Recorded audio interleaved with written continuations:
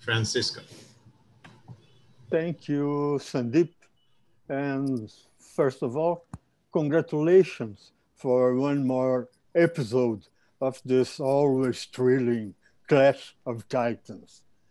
It is my great honor to have our always welcomed Presidenta Graciela Zuccaro as co-moderator of the session. Graciela really represents the very essence, the very soul of ISPN, our, our, our always, our, our team of wonderful girls that are members of this vibrant society. So I think that Graciela has everything to do with the team, with the team you are debating now. Now I will ask you, Graciela, to introduce your two titans, Martina okay. and Nelci. Both of them are very good friends of mine for a long time. So don't be afraid. I won't be biased. So, Graciela, please go on. Thank you, Francisco. Well, good morning, everybody. It is really an honor to be moderator of Clash of the Titan episode 10. I would like to thank Sandeep and Nelci for the invitation. Today we have a very interesting topic.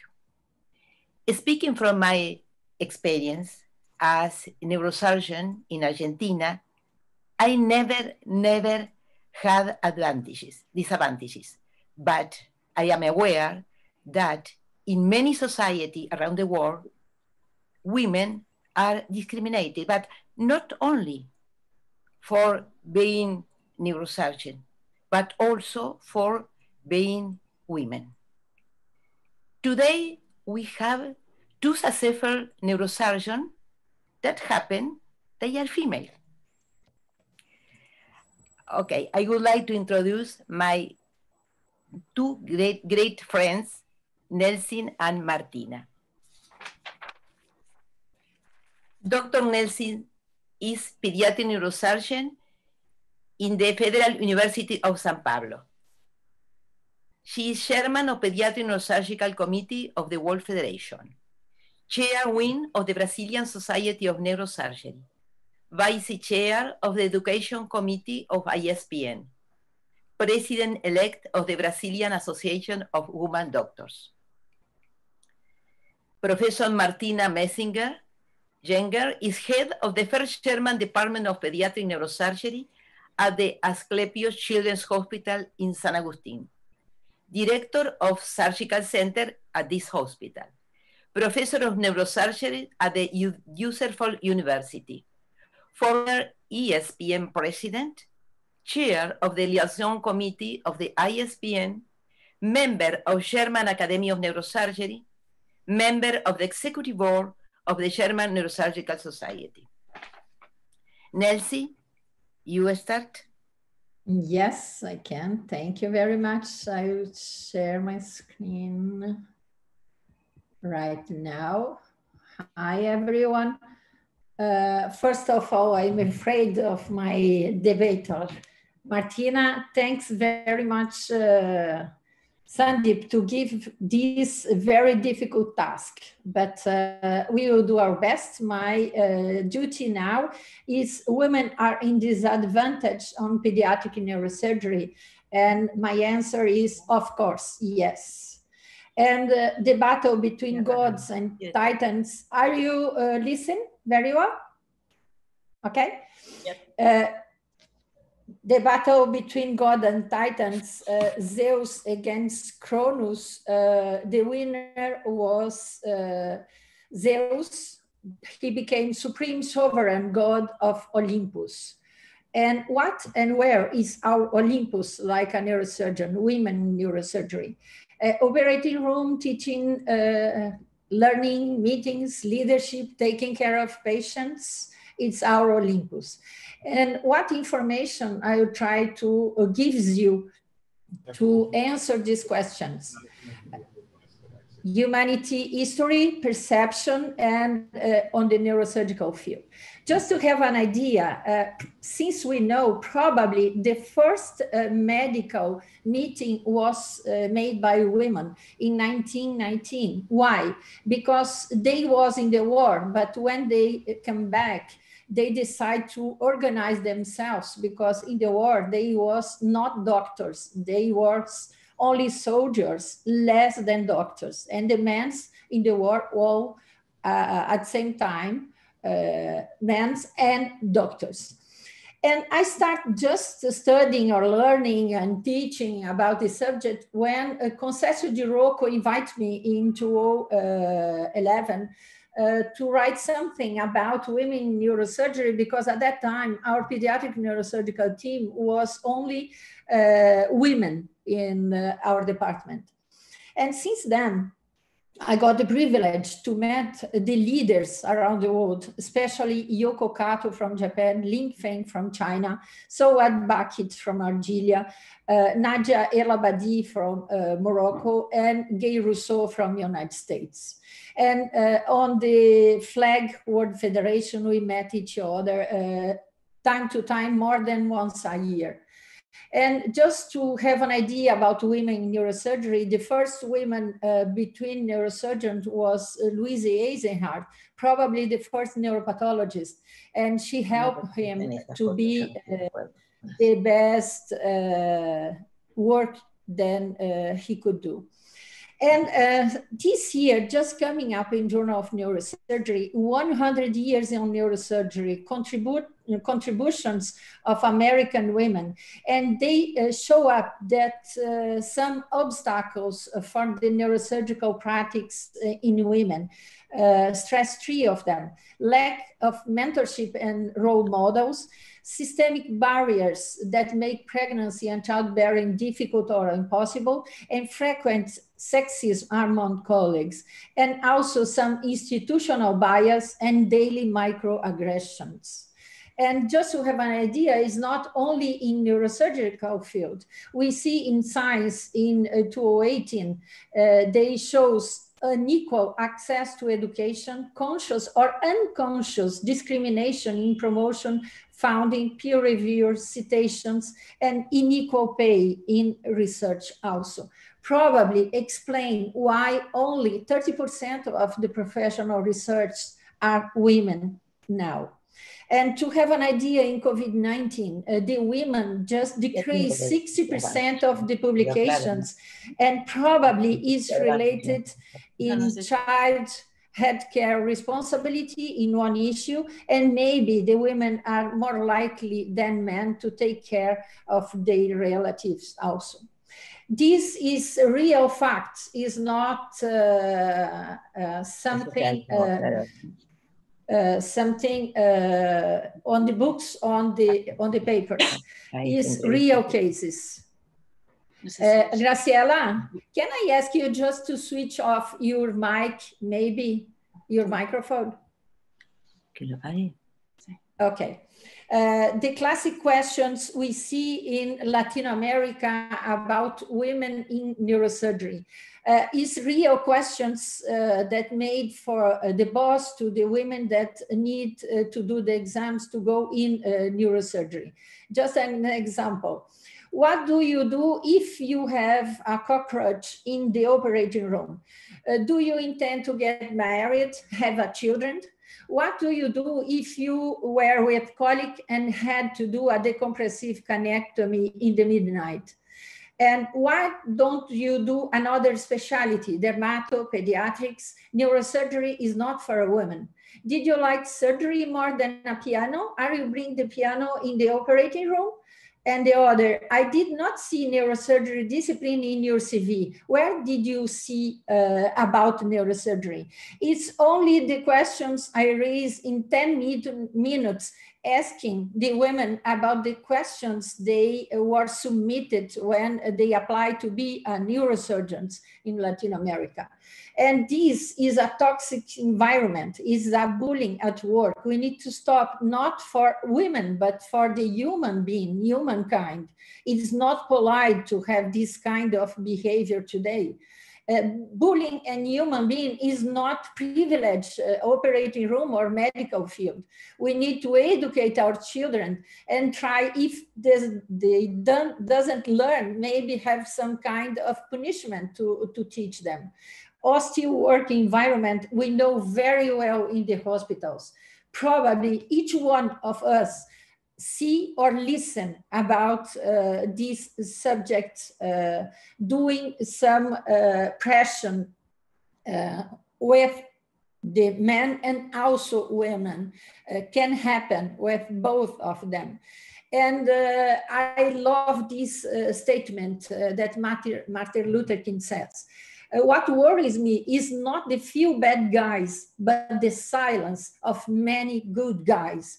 And we don't need to silence if there is something wrong that we can try to help and to teach and uh, to get bad, uh, best environment. This data is non official data in neurosurgery, but it was just uh, last year. Several residents asked to move to another department, claiming for another question, when in reality they was living in a toxic environment. Maybe it's time uh, to, uh, to raise this subject in our uh, meetings. But do we have prepared team to work on this subject? Uh, not sure, because it's not usual to, to, to talk about and in other continent last year too, a colleague neurosurgeon stayed for two years ignored and without salary. Fortunately, other department bring her to be the best pediatric neurosurgical training in the last five years. But it's just real situation. I'm, I'm not creating this situation just to, to, try to understand the human behavior. 10,000 years ago, the nature, the women, the water, the trees, it was something uh, sacred. It was uh, uh, real spiritual. But we move for some reason uh, to a materialistic world most competitive than collaborative work. Maybe it's time to step back and try to see how, how we can do better the human being need to learn spirituality vision of the universe. We are not by ourselves. We need help when we are not in the right way. Just to have an idea, it's what neurosurgery is not uh, only historical paper. There is some correlation between mythology and neurosurgery. Probably the majority of us are not aware about this subject. Just an example, Asclepius holding the staff with the snake wrapped around remained a symbol of medicine until today. In the right side, uh, Achilles is dressing the wound of his best friend Patroclus, injured on the Trojan War. The Trojan War was myth since some researchers find the staff's correlation and became into reality. And we are talking about archetypes. The central concepts of science, philosophy, and ethics are not exception on these rules. And the definition of archetypes in Carl Jung. What is derived from Greek words, arch, with mean first principle, tupos, that translate as impression. And Apollo and Artemis, Artemis is the same than Diana, son of uh, Zeus, are uh, brothers. And the origin of these archetypes are the subjects that these models are inanimate, universal, and hereditary. All the most powerful ideas in history goes back to archetypes. And Diana is a very strong archetypes is the Artemis as a goddess of hunt of the moon and personification of independent feminine spirit. And Diana probably is the archetype for many professionals uh, and probably the surgeons also. But uh, we see here some examples that uh, the professional are challenging and doing uh, uh, the impossible to possible. And in science also, we have these archetypes, just a woman coming out for uh, the by herself between a lot of uh, challenging questions. And this came out to reality to uh, women in economical society. Just to have an idea, one US dollar venture invest in female lead versus 40 uh, with male owned is just on one example. Come back to Diana and Artemis. Diana is the Roman version and Artemis is the Greek uh, version. The ability to focus, uh, set goals and reach them, autonomy, independence, ability to develop meaningful connection with other women is below uh, Diana archetypes maybe the most example we have the modern modern Artemis uh, archetypes is Jane Goodall, a three decades spent with uh, the animals and nature in Tanzania. But we have a lot of books, movies, fictional series showing that the women with indomitable spirit are the new protagonists in the world now. It's time to have women in neurosurgery. Just an example, Giselle won the uh, Young Neurosurgeon Award a few years ago by uh, the the World Federation. And where is the pediatric neurosurgeon in the Olympus? If we have all the subspecialty in neurosurgery, maybe Hermes is the pediatric neurosurgeon like we see here. And why Hermes? Because probably is one of the most popular gods in the classical antiquity. Be between the 12, uh, Hermes is maybe the most charming of them. And probably in pediatric neurosurgeon, we have the most popular also when we compare with the other subspecialty. And here we have three of examples that you know very well uh, in our uh, history of pediatric neurosurgery. But we can also learn for the primitive pharaohs living with God. And the pharaohs was the first human governor in the earth. And 3000 years before Christ uh, stay uh, in there. And to have an idea about the time, Cleopatra, it was uh, really before this time. And the ancient Egypt, they made the image of royal family, the royal power uh, came for siblings. It was transmitted by blood to be sure that uh, keep in the uh, God connection. And who was Hatshepsut? Why I bring her on the stage with us today? Uh, she was born in 1500 before Christ. Uh, she was the daughter of the Queen Ahmose and Thutmose I. And uh, she, when she was only 12 years old, uh, his father died and uh, she uh, got married with his brother and became regent, contemplate post pharaoh.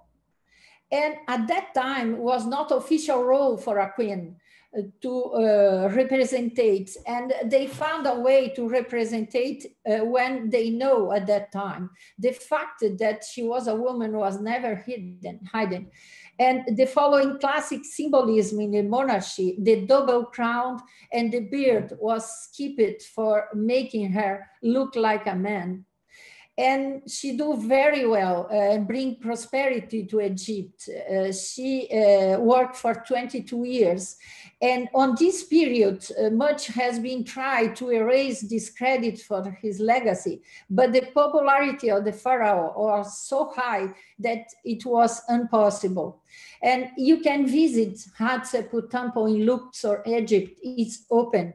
And Hatshepsut is uh, this figure is uh, maybe uh, so relevant like it was Cleopatra, but probably uh, less people know his history.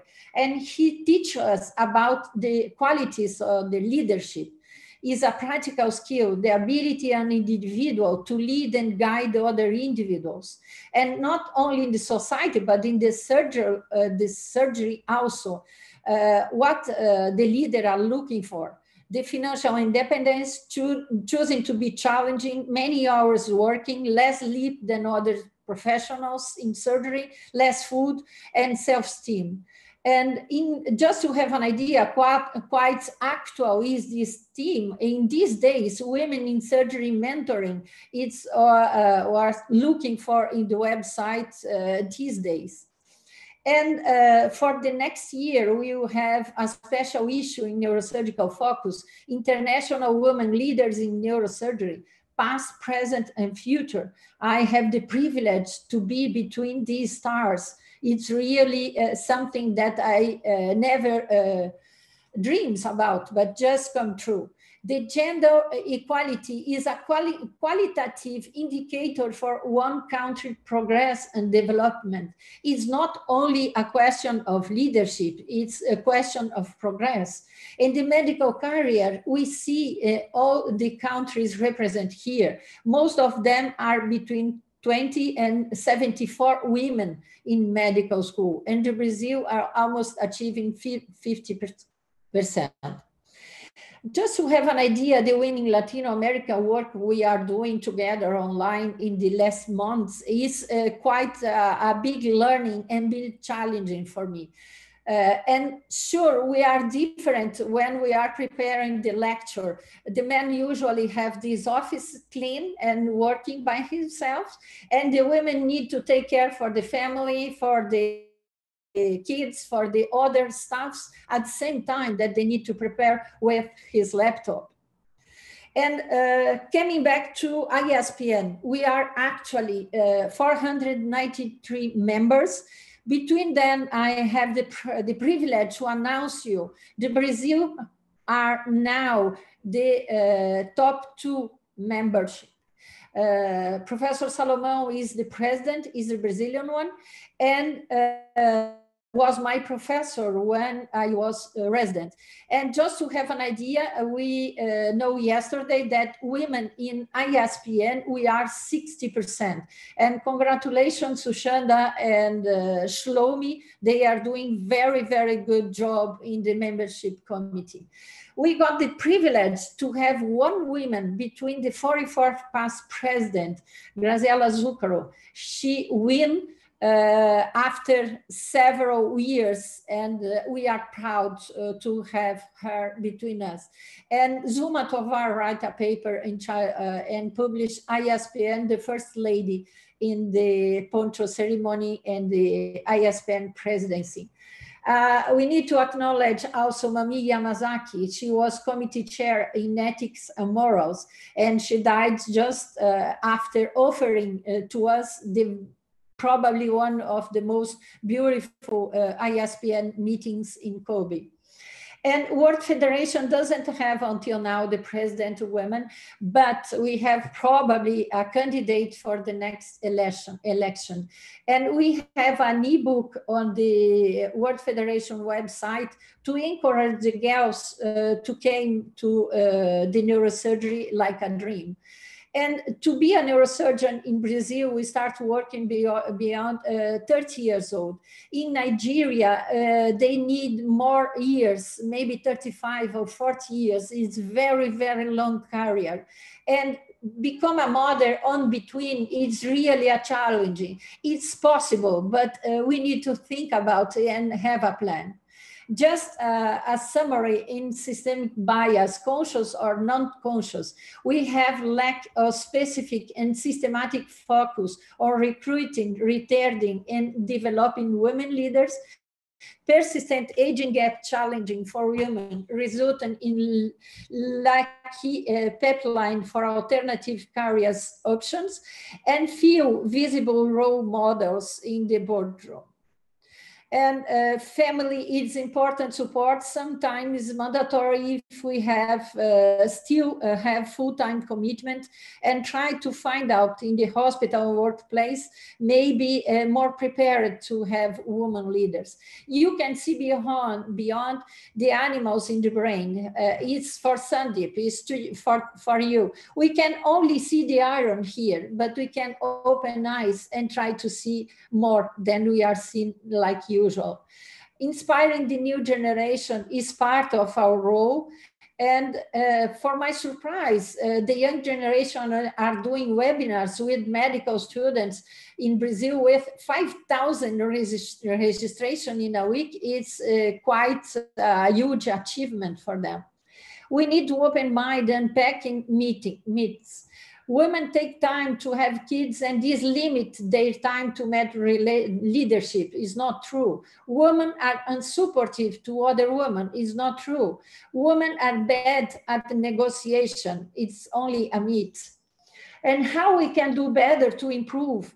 We must uh, now focus on continu uh, continuous system improvement welcome environment for all uh, aspiring neurosurgeons try to eliminate harassment, equal and fair remuneration, parent leave on site, and daycare facility for them. In summary, promote a safe and inclusive workplace for everyone, create workplace policy, and the leaders can be more protective and aware to everyone and uh, Zulma Tovar are doing this gender disparity in neurosurgery, maybe we try to uh, raise other obstacles that we didn't uh, uh, mention now. And the final provocation, I love this statement. If you want something said, ask for a man. If you want something done, ask for a woman. And my mentors are all men. I am proud of them. Uh, Professor Ricardo Matana from Caxias do Sul, uh, Lynch, it was the chief one uh, when I was medical uh, resident, and uh, pediatric neurosurgery in France with Schutz. If we have two more minutes, we have a small uh, video. If you don't have any against, try to see the invisible players and explain a lot what I think. It's uh, they invited sports fans to take without they knowledge who scored this goal, and they would try to guess because they are expert on the subject. If you are not, no problem. But uh, who did this goal?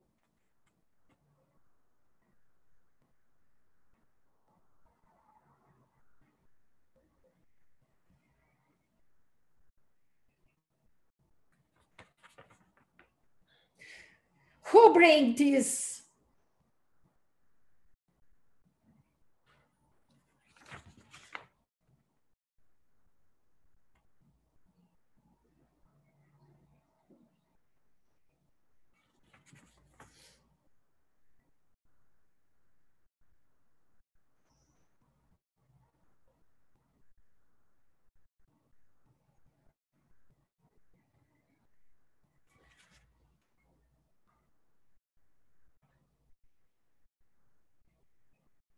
I couldn't imagine that was a woman.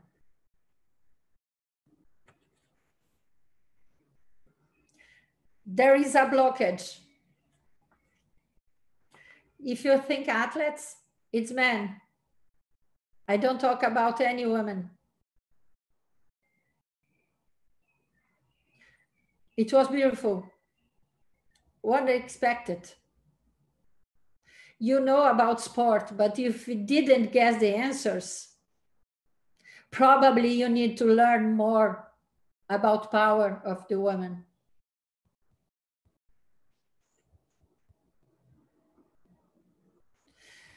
And uh, the invisible players can be also in the operating room, can be in the meetings, and probably we doesn't see uh, them, or maybe we doesn't want to see.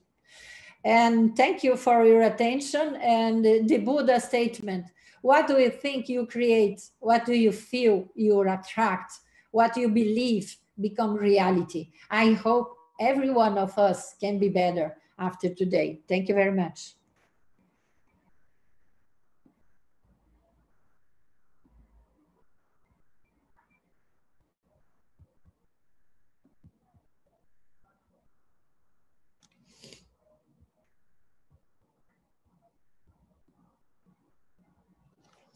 Graciela? Or maybe you can continue. Thank you for your nice presentation. Excellent. we are supporting. Excellent presentation, Elsie. Thank you. Now, Martina. Yes. First, I have to upload. Okay. Well. Okay. So um, first of all, I would like to thank Graciela for being with us and also Francisco and uh, ISPN and Sandeep for giving us um, the opportunity. And uh, Nelci, thank you that you showed all the historical background and also um, the nowadays situation of females, which is still uh, a big thing um, to talk about and to improve, of course. But um, our task was to talk about disadvantage in pediatric neurosurgery. And this is what I was sticking very, very closely at because uh, I think um, it is a different world, pediatric neurosurgery. I would like to show you why. So you said that women are at disadvantage in pediatric neurosurgery, and I say no. And uh, I would like to show you why. Um, first of all, I would like to make a distinction between disparity and disadvantage. Disparity means just that we are less females than males, and um, this is only a figure and uh, statistics, and disadvantage means that um, there is a purpose to uh, have a larger representation, but you cannot. And I think these are two different things and disparity is existing in pediatric neurosurgery uh, in respect of the gender distribution, of course, but I do not feel a real disadvantage for us females. It is true that not more than 5% of all board certified neurosurgeons in the world are female. There are some places where there are no females at all and others uh, with more fair um, numbers up to 20%, like in Europe, for example. And um, luckily, the numbers of females in neurosurgery, but especially in pediatric neurosurgery, is steadily increasing. Probably because already things are working uh, that you are proposing. What could be the reasons? You were giving uh, lots of backgrounds for this male networks and closed shops. Are they still existing when they are dealing with their attractive jobs, operation schedules, science and academics, and then finally in after work socializing, um, celebrating their own deals? Yes, probably this is existing. But I don't think this is the major world in pediatric neurosurgery. Of course, there are other reasons you were showing perfectly before, Nelci pregnancy at work. Pregnancy at work is um, a, a, clear disadvantage um, females are uh, living with, but this is inborn, this is biological, and we have to arrange with this and find ways how to work. And um, I think we have made improvements, uh, improvements in the last decades, definitely family planning and taking the burden of a family. Um, this is, of course, a big topic also for pediatric neurosurgeons. But I can tell you that in advanced societies, and this is a very important topic, especially nowadays, where our democratic life is uh, a little bit shaky, um, in good social communities, we can see more and more men looking for uh, um, family leave, uh, educational leave. I would say frater um, um, maternity leave is not true, but paternity leaves.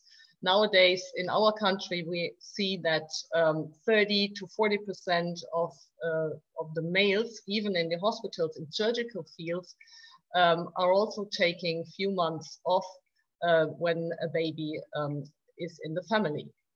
So there are changes and we have to talk about these changes because any example that has been made has to be talked about. And this is also true for social cultural barriers. Of course, social cultural barriers can um, hinder females uh, becoming a full working uh, mother. Yeah, but the mother herself and the female herself has to fight for it. And then, of course, we have to ask ourselves, what about me? What is my personal career definition and life planning? Probably, do I have a lack of courage? I have to be very honest with me and also to try to start changing myself. And what about the gender specific reasons, the evolu uh, evolutionary ones? Um, are they applicable to me? What about the different value systems? My self perception, what is my personal meaning of success and salary? What do I want to fight for? And what do I stand for? And this also leads us to the question, am I ready to fight and finally win? Or am I ready to serve? This is the philosophy I have to bring to my life by myself.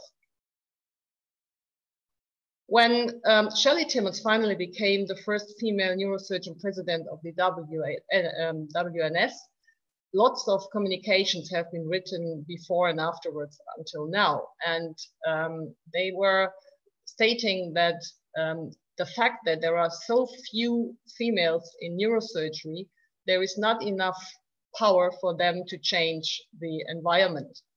Um, yeah, probably in the wider field of neurosurgery, this is still not easy, but I think in pediatric neurosurgery, it's much easier. So what are the best strategies to overcome gender disparity? Communication, creating awareness, female networking and mentorship, defining own goals and also fighting for them, and with this changing the working conditions. It is true that pediatric neurosurgery is preferred by women, um, but I am asking myself, why are we not better organized for this idea? Looking at the ISPN, you have shown this already. There was one female president in the past, which has been Graciela, and actually 10 out of 28 committee members are female and zero officers. In ESPN, it's more or less the same.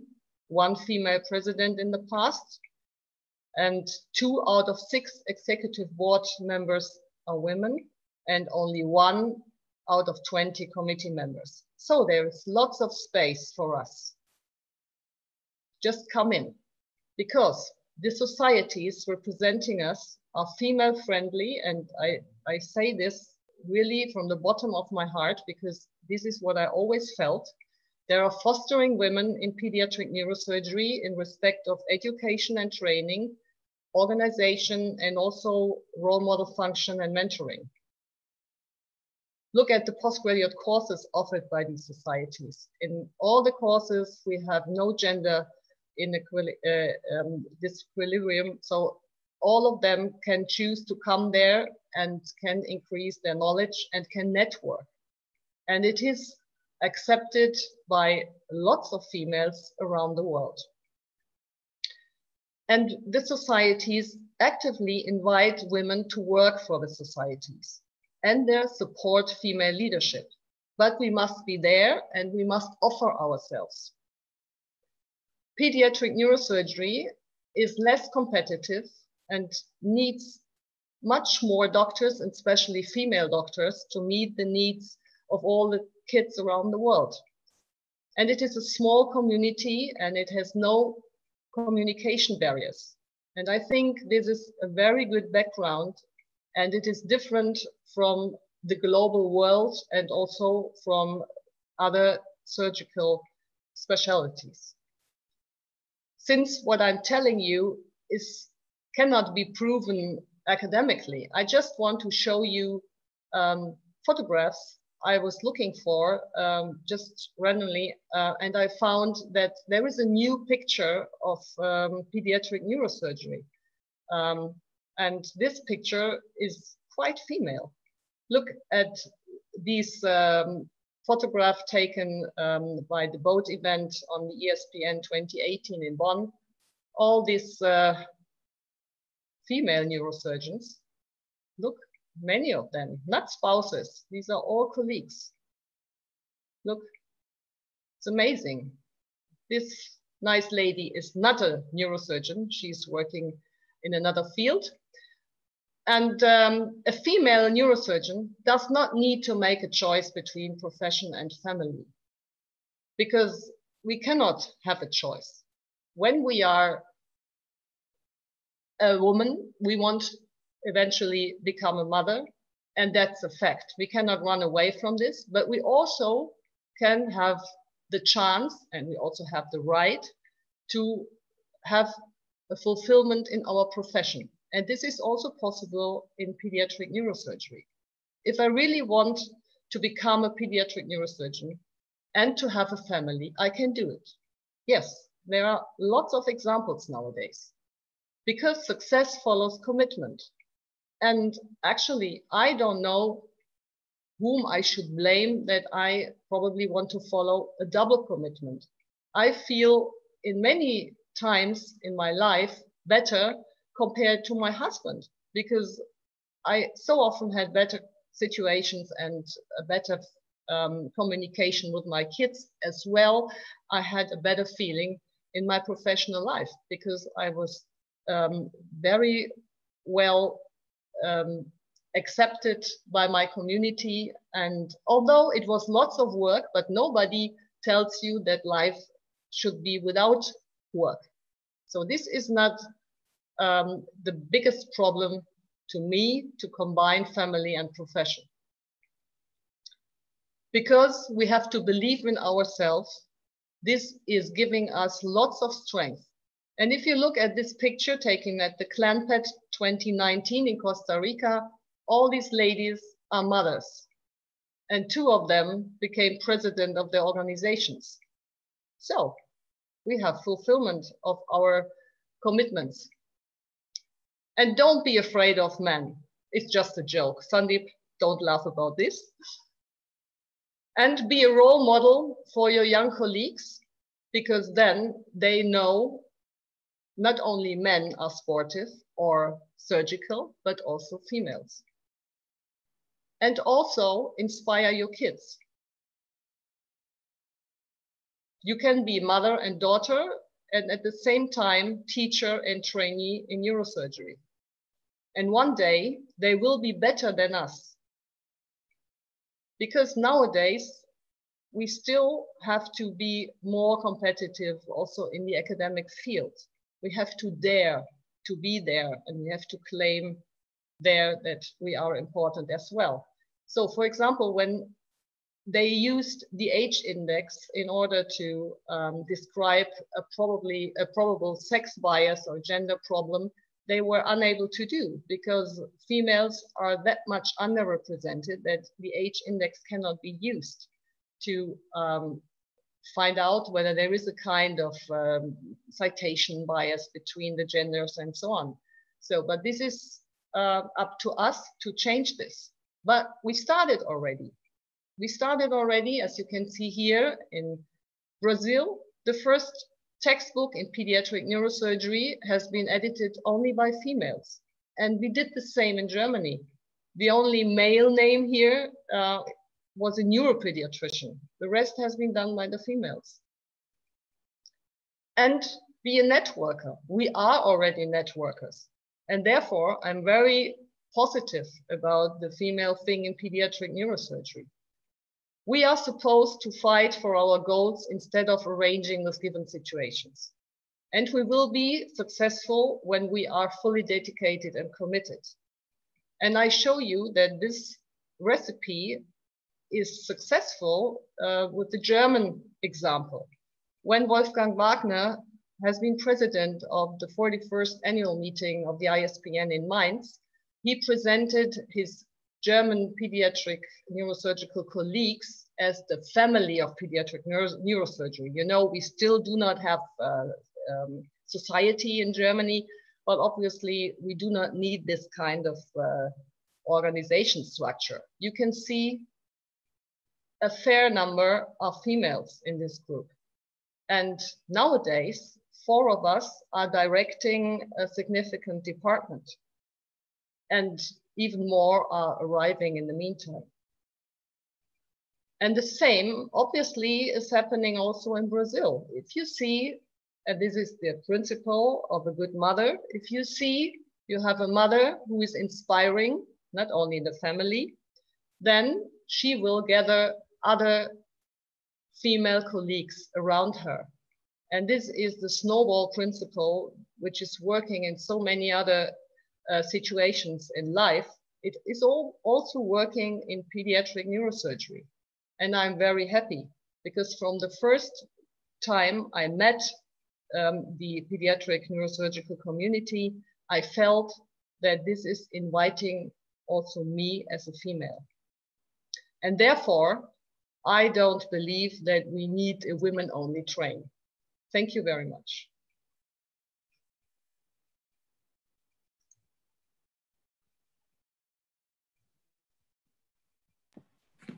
Congratulations, Martina. Very nice presentation. Thank you. Francisco, okay. you have the questions? Okay. Thank you both, uh, Martina and Nelci, for their insightful uh, presentations. I have loved so much, although the points of view were sometimes opposed. But firstly, I would like to I would like to know for you both that in case of disadvantage, of in case of unfairness in relation to women, what should one what should ISPN specifically, as an organized society, to do to, to refrain, to, to change this situation? That's my question. After this, I'll put the presentations in discussion. Thanks, Salomao. Uh, it's a very difficult question. Probably you don't have the answer, but I agree with Martina. Probably pediatric neurosurgery uh, is uh, the society that uh, are more uh, humble people, more easygoing, more friendly uh, than other society I know and I work it. but probably if we see the problem. Uh, the question is how we deal with. For example, I don't have the experience on pediatric neurosurgery specifically, but I have a lot of experience in uh, neurosurgery because uh, the women in neurosurgery in Brazil, we are now almost 200 and you can uh, imagine uh, how many situations we uh, listen about. I think we need to try to find a balance because when you show up some situation that is embarrassing for the women, specifically if she is young, we are giving her a task and we're giving her some more difficulty in the future. And uh, we tried to solve when the problem came out individually and uh, talking with uh, the involved, involved people in a harmonic way and uh, with uh, some kind of arrangement try to don't uh, put on the society.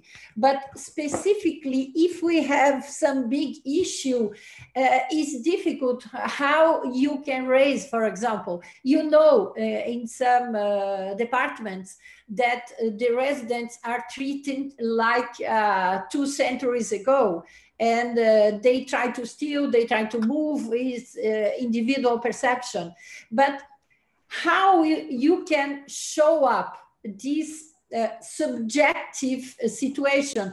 If you have some recording you are doing without permission is forbidden. If you have some pictures without permission is uh, uh not legal. Uh, I think uh, it's better don't have this situation to manage.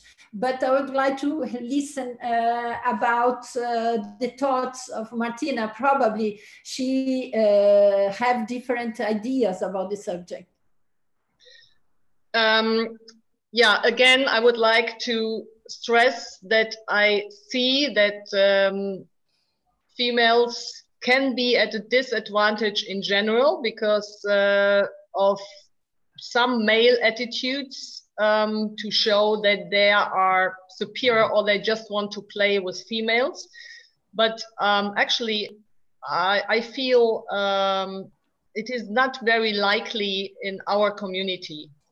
Um, but you know, I have not worked everywhere in the world, but I have met lots of people, um, colleagues around the world, and I cannot imagine that uh, in our community uh, that this is an all-day uh, problem. But in general, um, I share with you the concerns that um, when men in public can be like this, and I just look uh, at some presidents of the world, um, how they are addressing females in public. Um, some men might be invited um, to be just the same because this is a kind of legislation. If a big guy is doing it, I also am allowed to do it. And I think since in many respects, um, females are in better positions, um, the male um, community feels um, in danger and then they are probably more likely to be to, to show harassment or to be quite ugly. So there might be a social problem, and I think it is getting worse in some respects, and in other respects, it's getting better. So we will have a polarization. Um, what we can do is um, creating awareness, like the Me Too debate did. I personally uh, had a problem with the Me Too debate because it's always also um, not easy to prove. And uh, it can also be um, misused by females. So I think um, to make um, these situations public, it's a problem. Um, but to, to come back to our community, in the hospitals, in our um, pediatric environment, I think we are in a better condition. So I could always see differences between pediatric hospitals and general hospitals, between pediatric medicine and um, adult medicine. So probably I would give the young colleagues working together with us uh, the advice to try to move to another environment um, to become powerful. Um, because it does not make sense, I think, uh, to to talk to another authority and then to blame this department and because then we have, for example, the problem to prove to prove what really happened.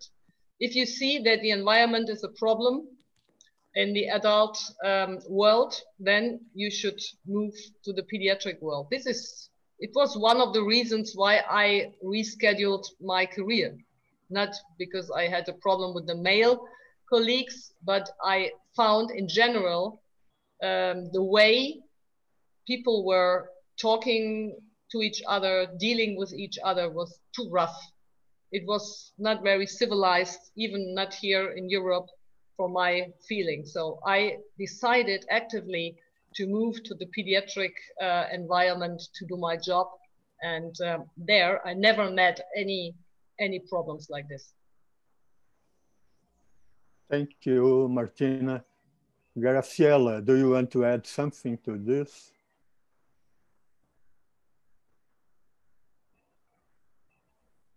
Yeah. I am, I am more, I am, more, I am harder because I work with adults, but I always maintain my position between men and between women you know. I don't agree that there is a society for humans, society for men. No. the only society of neurosurgeons in general. I, I, I never agree. had problem. I never had problem, neither in pediatric neurosurgery nor adult neurosurgery.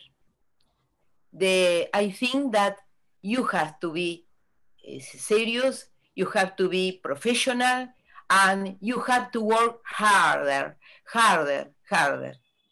This is my opinion, you know.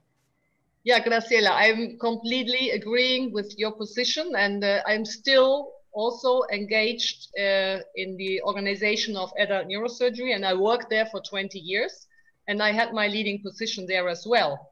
But actually, sometimes I thought, hmm, there can be other ways to work together, to communicate, and if I could rule everything, I would uh, change some of it. Because uh, as the the last uh, citation Nelci showed us um, that if you want to have a thing done, ask the women, the Thatcher word, um, and if you want to listen to a word, ask a man. This is true, and this is probably also something you were um, experiencing. That, uh, of course, the world is not black and white. Yeah, um, we had female colleagues that were not uh, um, doing what what expected from them, the same as male, and the other way around. So, actually, working um, as a surgeon is independent from being female or male. You have to do the best thing with the best skills you can take out of yourself. I completely agree, but um, I have to admit that the tone, the tone is better in a pediatric uh, environment compared to the adult environment. But this has nothing to do with you. If you are a fighter, you will win also there. No problem. I Thank understand very well, uh, Graciela. I understand. But I disagree completely. I was thinking like you when I was, uh, since maybe 15 years ago, when they invite me to create uh, the women's session in Brazilian society, my first answers were no, uh, we don't need.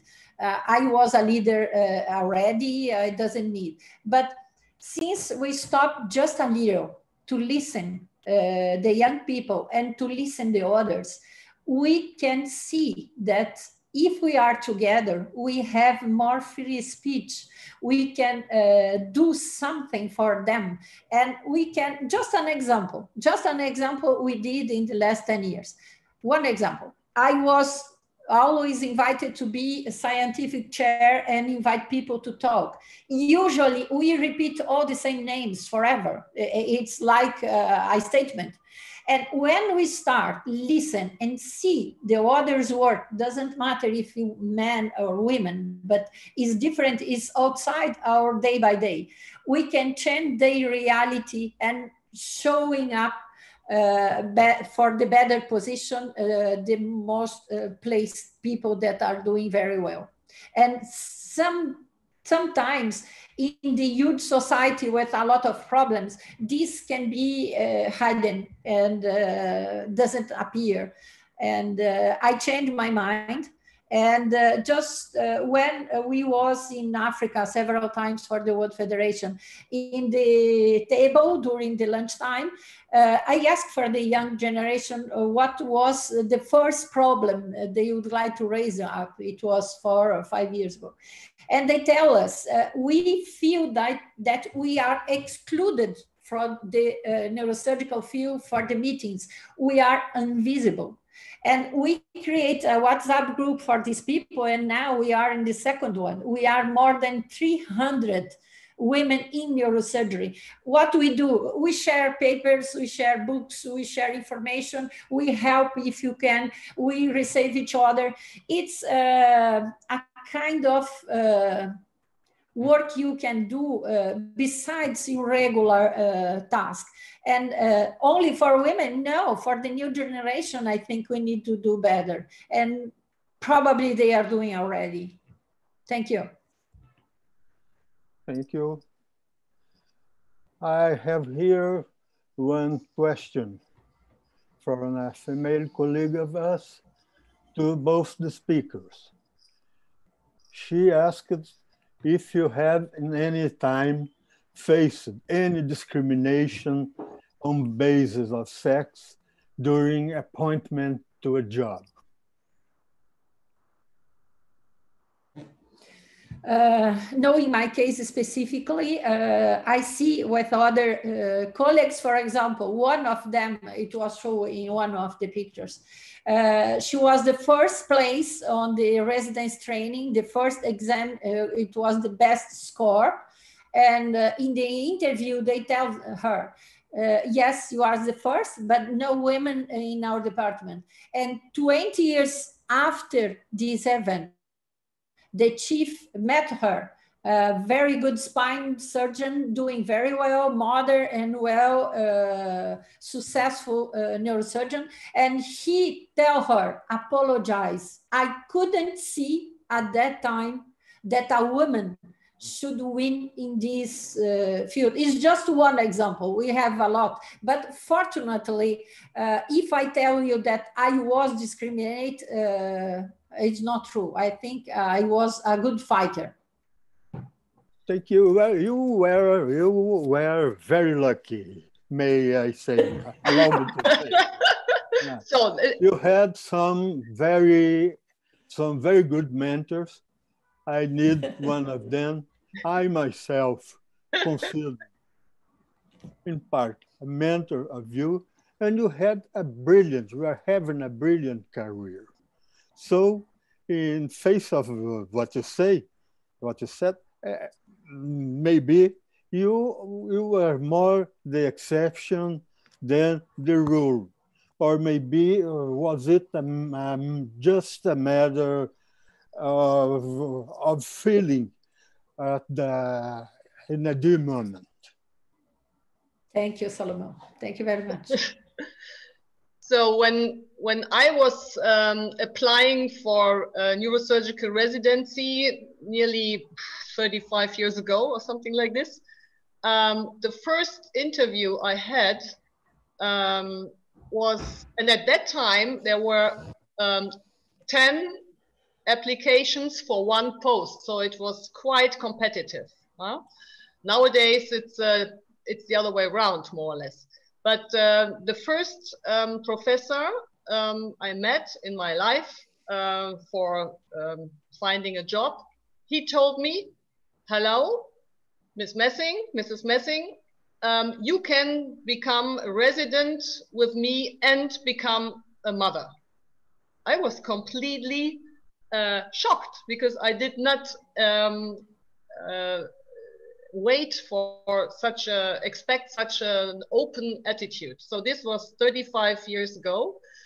And uh, finally um, i got three appointments for an interview and i got three offers for a job afterwards which was quite unusual in a time where um, you had a 1 to 10 um, ratio um, so I never personally had uh, the feeling that I was uh, in a bad, in a worse situation um, in the competition against men. So I was obviously quite lucky, and the same happened to me with my two um, professors that were fostering me and giving me leading positions, and they never um, withheld me from this OR our schedule.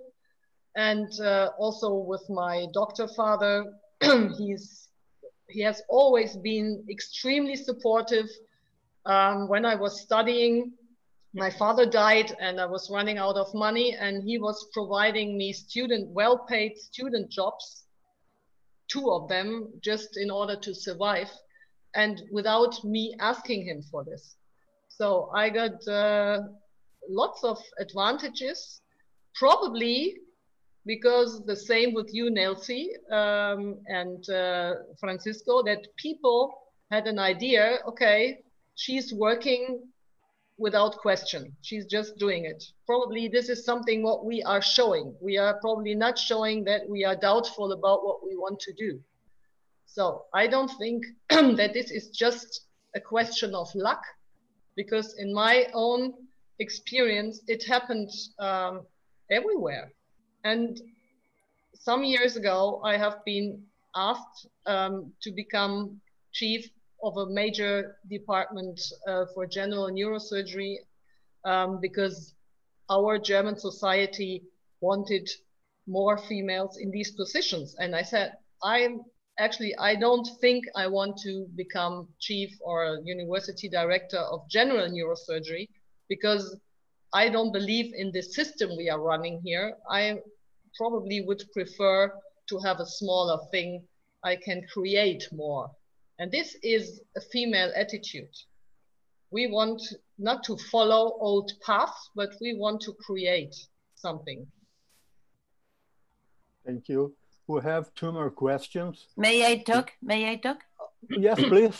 Please. Okay. Excuse me. Many, many, many, many years ago, about 42, I competed with 63 men for four, four places for neurosurgery. I was the second. I didn't have problem. I talk about 42 years ago, but I understand that, as uh, Nelci said, in some societies around the world, of course, women are discriminated, but not only for to be neurosurgeon, but also for being uh, women. That is the problem of the different society. Thank you, Graciela. Very, very, very important statement. Now we have a question from Kenichi Nishiyama. Thank you for the wonderful talks. As you know, guys cannot become a mother. Please give us some comments regarding a strong point in daily work of pediatric neurosurgery as a mother. Can you talk first, Martina? Yeah, you, you talk first. You. uh, uh, it, it's uh, always a issue. It's true. The spirituality of his comments, uh, men can be pregnant. It's true, but uh, the pregnancy uh, also raises uh, boys and we need to create the support for having these trainees uh, on the group without uh, some troubles try to create opportunity uh, for them if they uh, need parents leave just create the situation for don't stop residency training we may need to think about be out of comfort zone. Usually we stay strict, uh, we have rotation, we need to stay on need for this time, but uh, thinking about maternity during tra trainees is possible. We have several examples here in Brazil, well successful mother uh, during residency and very comprehensive residence group uh, men that work on it.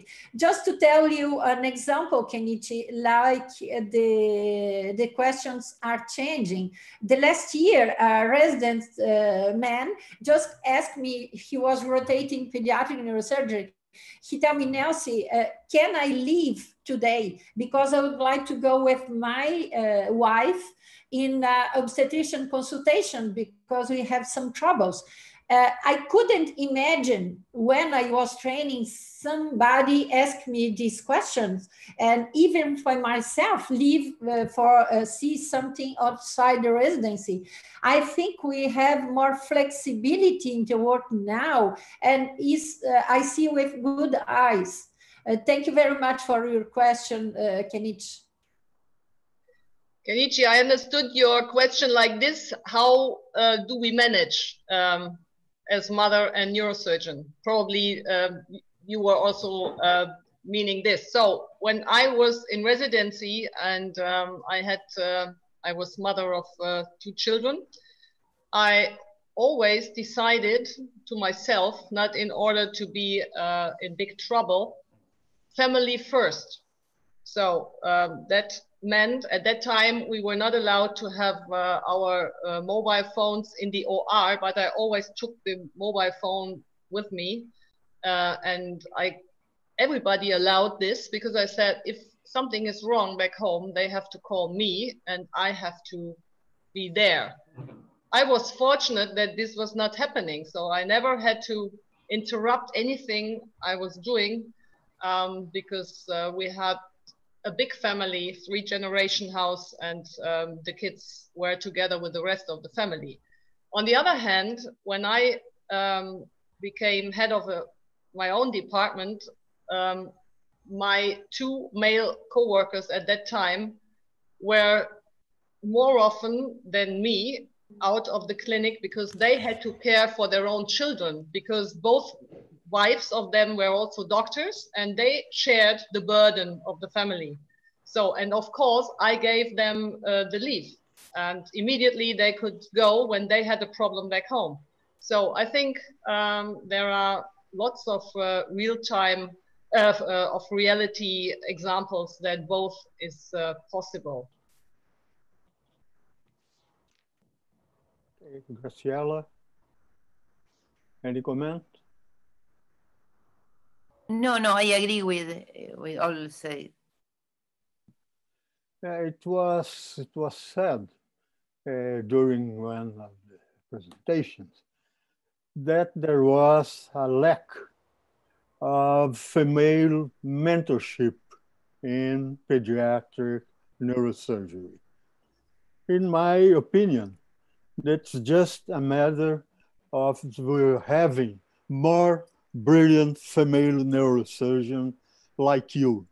Do you want to add something to this? Any other, any other way to improve uh, female mentorship in pediatric neurosurgery other than stimulate women to proceed with pediatric neurosurgery? I think, uh, yes, uh, since we have more and more women in neurosurgery, uh, we are uh, doing the example and try to mentor them. Uh, they are uh, well organized now in the, the groups of women in medical students that will love to do neuroscience and we try to help them to show our uh, way to live, way to work, and probably they will be uh, in an easy condition than we are today.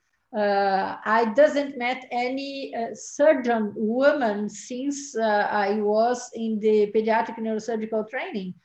And uh, it wasn't a problem for me to go and to still working but I think it's important to to give example and try to to show that it's possible. Yes.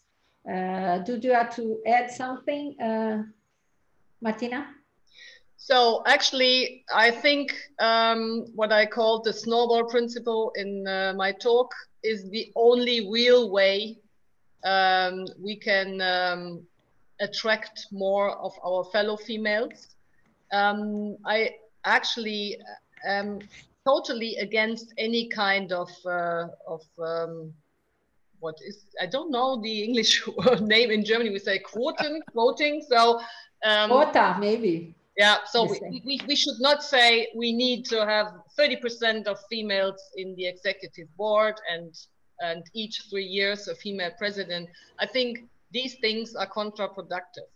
But what is important is, um, and we would, I would like to address this to all our female audience today, um, that we have, you can believe us, and we have to show this, that we can have a full, happy life being mother and also being a dedicated pediatric neurosurgeon, even being officers of uh, of uh, societies and um, yeah, a kind of ambassador for our things.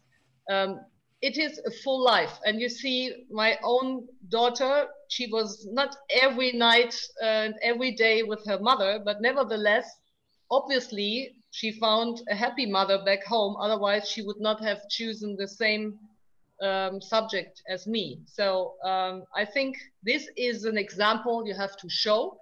And by this, um, the pediatric neurosurgery face becomes also more female and this is better than looking at all statistics. And um, each year I am, or each semester, I am offering uh, a seminar, pediatric neurosurgery for students, which is quite an exotic little something. Um, but you don't believe it. All the time, more than 10% of the whole semester inscribe, especially for this uh, um, seminar, which has in the end um, a uh, uh, an examination even. So they come there, and about 80% are females. This is the normal um, um, distribution nowadays in Germany. You have at medical schools up to 80% of females, and they come, and they afterwards they come and have um, uh, hospitations, and they are asking for um, dissertations. So this is a way to stimulate them. And I think it is an evolution and um, this will uh, bring as much um, um, parity in the end or balance in the system um, as anything else. This is what I believe in. Okay, we have here a question that came from Argentina. Ramiro Del Valle asked, have any of you have ever found any discrimination for patients preferring a male neurosurgeon? Uh, not really. Uh, when I was young uh, neurosurgeon, when I arrived back from France, I was in the on call. Uh, it was a drunk man and uh, it was three patients we need to operate and uh, he was a little bit better than others and he tell me i want to be operated uh, for a woman i will wait for a doctor and i tell him tell him thanks for facilitate my life because i have three to operate you will be the last hope you're still alive because you can die on between, but does, doesn't worry. Everything will be fine. You facilitate my choice. I have two surgery to be to do before you. If you feel comfortable, he always prayed to me, but uh, everything was fine at the end.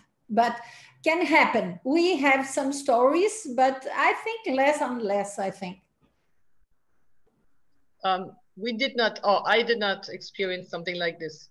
They only asked me oh, you are that young. what about your experience? but not about uh, being female. But it was an experience in the operating room when uh, our resident, who was uh, my helper in the private hospital in Sao Paulo, I just start. I was in the operating room. The patient was on my name. I was in the operating room, and the nurse asked me uh, when the doctor will came and uh, I say quite, I am the doctor, but okay. When the resident come in, uh, it was maybe 20 years younger and was in the operating room and she started to talk with him like a boss. I, am just wait and uh, uh, have fun with. I, I don't took seriously. I think that people shows more things that they have inside themselves than against us. Yeah, probably the world is changing um, differently in different spots. So uh, we have uh, we have had so many nights where we were standing laughing in the OR in emergency situations where we were two women uh, surgeons. Um, there was an anesthetist, uh, female, and all the nurses were male. So all the doctors were female and all the nurses were male. And we said, well, this is uh, this is the new times. the new scenario is different. Yeah, yeah, yeah. Uh, uh, on the changing room, when I started working in Sao Paulo two decades ago, we have two options, doctors and nurses. Uh, there is not women and men uh, oh, no rooms. so we, this has, I think Europe was already uh, done with all this stuff when I started uh, more than one generation before. So probably probably we should uh, we should uh, perceive the whole issue as a, a, pandemic issue. So we should infect everyone with our ideas.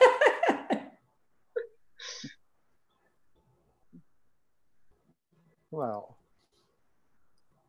we have some comments here from Christina Schaurich that said that uh, pediatric women neurosurgery life, pediatric neurosurgical women had to be proud of it despite the challenges. She congratulates to all women who perceive, who pursue their dreams.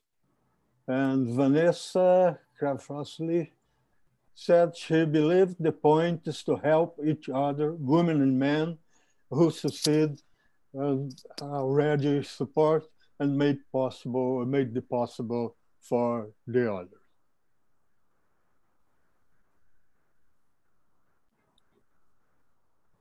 Any other comments? Sandeep, do we do we have some some more time, or do you think it's time to to close the session? It depends, unless uh, there is something else the speakers or the moderators want to say. Graciela, do you want to add something? No, no, it's okay. Great. Thanks for the great opportunity. Fantastic so, discussion. I learned a lot. And Martina doesn't know, but he inspiring me. I, I got uh, the child uh, later on.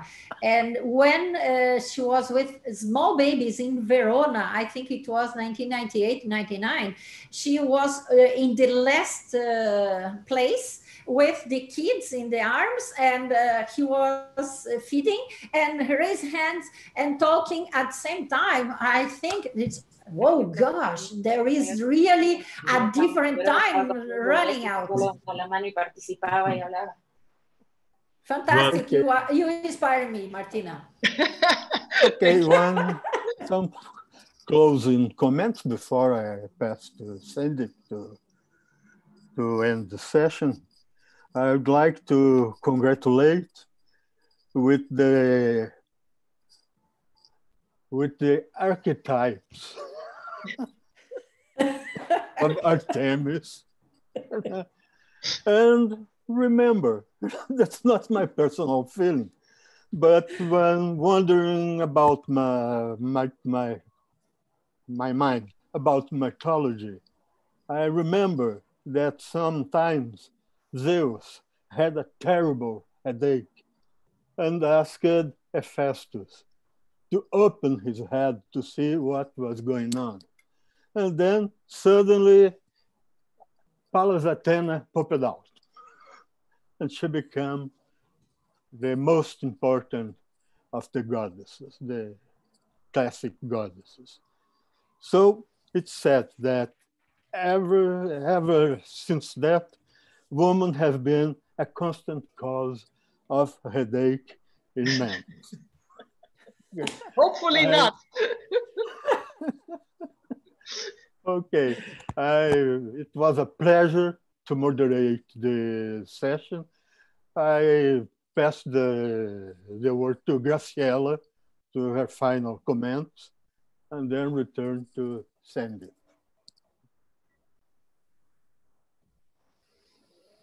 When I congratulate both titans because eh, they both were wonderful very nice, very intelligent. And of course, I agree to you, Francisco, for the presentation, and Sandeep and Nelci for the invitation. Thank you very much. And we see in the next episode, episode 11. hey, Sandeep. Thank you very much.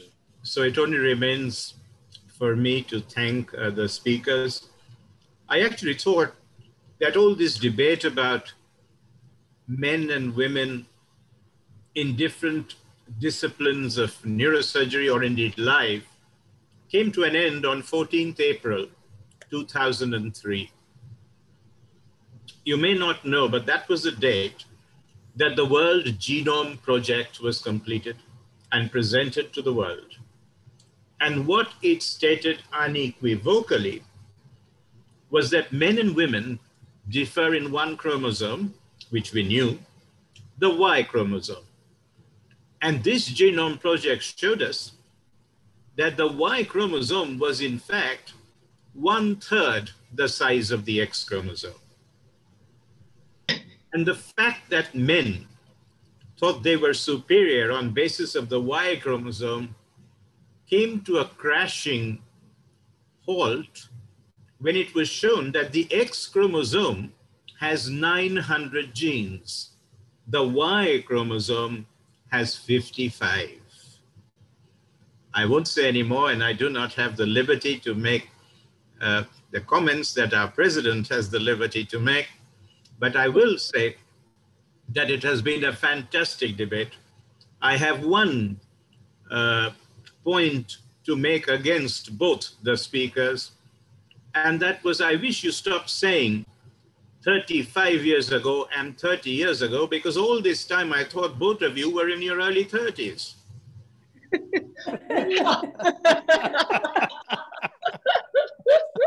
thank you very much. so humble, thank you. Francisco and Graciela for very, very kindly agreeing to moderate this debate. Normally, we end by telling you about the next Clash of the Titans, Well, the next Clash of the Titans, number 11, will not occur on the scheduled date, which is the first Friday in November. Because instead, between the 6th and 8th of November, we will have the virtual meeting of the ISPN, which we will call the ISPN 2020, which will highlight cutting edge science in pediatric neurosurgery. Registrations are open. The meeting on all three days starts at 1 p.m. Central European time and is likely to last for about four hours on each day. So please register yourself for the meeting. The next Clash of the Titans therefore gets postponed to the third Friday in November, and we will meet on the 20th of November for the next Clash of the Titans. The topic, I will keep you in suspense. we have the virtual meeting. Good morning, good afternoon, or evening, wherever you are in the world. It's great to have you as an audience. Thank you and goodbye. Bye bye. Thank you. Bye bye. Bye bye.